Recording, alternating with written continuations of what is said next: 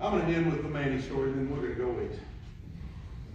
Ah, We need to get down to class early a little bit tonight, huh? I went over all of them, didn't I? Yeah. You know, I told you a little bit about Manny. Uh, I literally have, uh, hundreds and hundreds of cousins.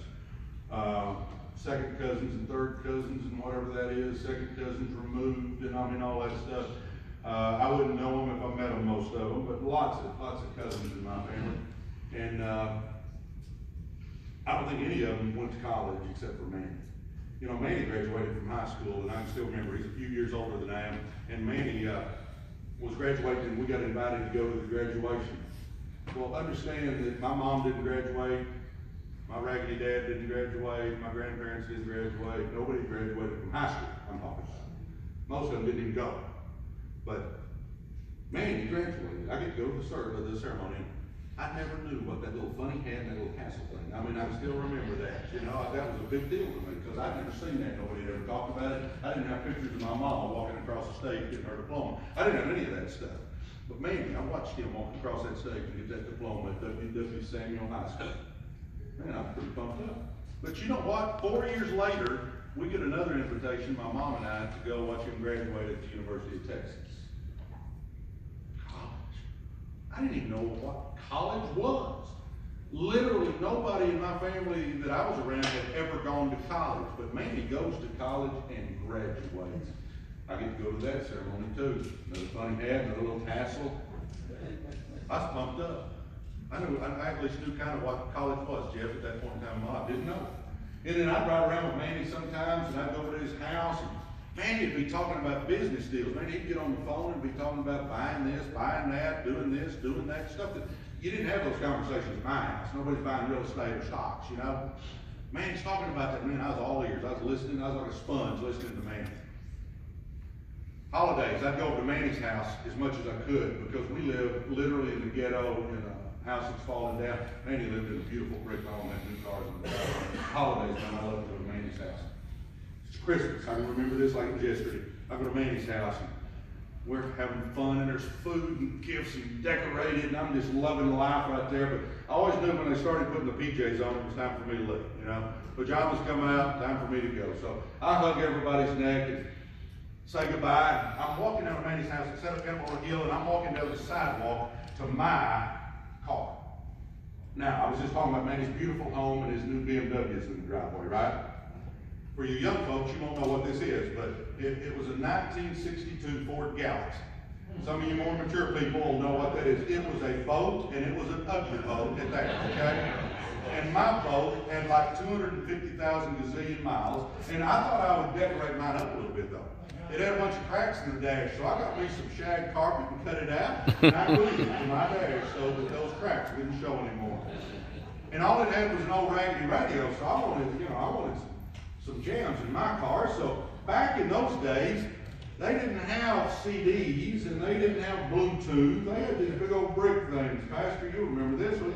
Big old brick things called eight tracks. they were about as big as a brick almost. I mean, and you didn't slide them into a little crack in your dash there. I mounted the sucker under my seat. The quality was terrible. You'd get your big old brick out and I'd lean over and I'd shove it into this big old hole. And it would start playing. Back then, my favorite group was Creedence Clearwater Revival. Creedence, man, I love Creedence. So I'd be driving down the road, I'd have the 440 air conditioner going. Y'all know what that is? Four windows down to 40 miles an hour. I'd have that 440 air conditioner going. I would have Creedence blaring, and I'd have that dash just giving it this, that shag carpet just being blowing in the wind. That really has nothing to do with the story, but I just thought I'd tell you about my car. I'm not embellishing on that car either, guys. That is my car.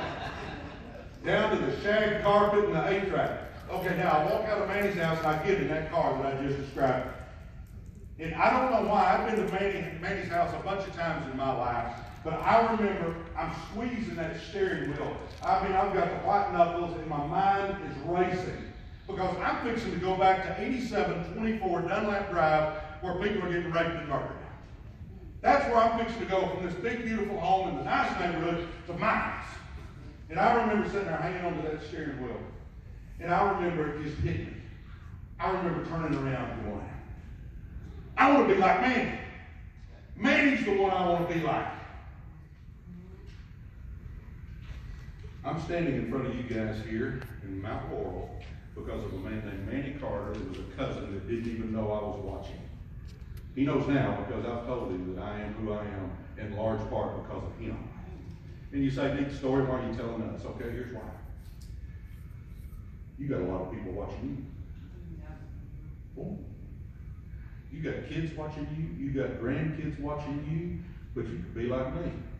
You may have cousins watching you, you may have friends watching you, you may have friends' kids watching you. You don't know what, what's going on. Manny didn't even know I was watching you. I promise you though, your kids and grandkids are looking at you. And I'm gonna ask you this, what legacy are you leaving? Are you leaving them a legacy of I can make a bunch of excuses? Or are you leaving them a legacy that they realize somebody with your last name can do something special with their life? Are you showing them what they can accomplish with their life? See, most times investments are way too much, we can't get in them, I mean, there's ways to make money, but you gotta have a lot of money, all that stuff. Two hundred bucks, guys.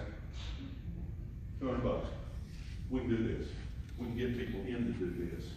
Guys, but it's gonna take us getting our butt out there, let's start showing our kids and grandkids and everybody else that's watching us that we do have greatness inside us, and we're gonna leave a legacy that we're proud of. As I said one more time, everybody in here listening to me, you got greatness inside you.